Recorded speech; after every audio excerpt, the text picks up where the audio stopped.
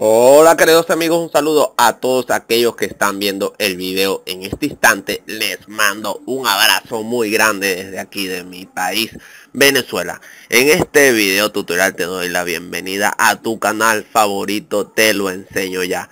En este momento te voy a ayudar a corregir este mensaje de error crítico que nos aparece en Windows 10 el cual dice error crítico, el menú inicio y Cortana no funciona. Intentaremos corregirlo la próxima vez que inicie sesión. Bueno, lo que debemos hacer es ir, por ejemplo, acá al escritorio, le damos clic derecho. Eh, yo sé que acá tengo Windows 7, pero este, en su caso eh, le van a dar clic derecho en Windows 10 y le van a dar aquí en nuevo y van a crear una carpeta. Luego de que ustedes hayan creado una carpeta, y estén dentro de esa carpeta les va a aparecer algo así como lo que están viendo en este momento. Eh, del lado izquierdo les aparece una opción que nos dice eh, archivo y nos van a aparecer una serie de pestañas. Una serie de pestañas en las cuales vamos a buscar la segunda que dice abrir símbolo del sistema Luego de que le hayamos dado en abrir símbolo del sistema, nos va a aparecer dos ventanas en la cual nos aparece abrir vínculo del sistema y abrir símbolo del sistema como administrador. Bueno, le vamos a dar clic allí en como administrador.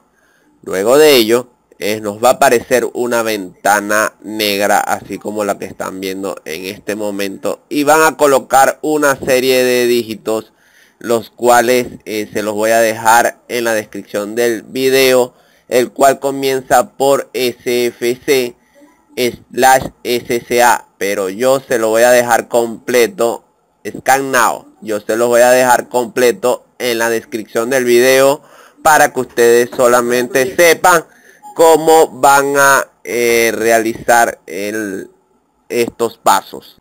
¿De qué de manera? Bueno, después de haber colocado eh, esa, ese comando aquí en la pantalla negra nos va a aparecer de la siguiente manera. Ok, luego de colocar el comando le vamos a dar Enter y nos va a aparecer de la siguiente manera. Acá nos aparece que está este, comprobando, el símbolo del sistema está comprobando un examen en el sistema. Ok, eh, cuando llega al 100% reiniciamos la computadora y se nos va a solucionar dicho problema. Si en dado caso no te llega a servir este primer método, pues lo que debemos hacer es ir a nuestro antivirus y actualizarlo, ¿ok? Lo actualizamos y quizás sea eso que esté causando el error, ¿ok? Luego de haber actualizado el antivirus, si no se ha corregido dicho problema, lo que debemos hacer es ir este, abrir el administrador de tareas.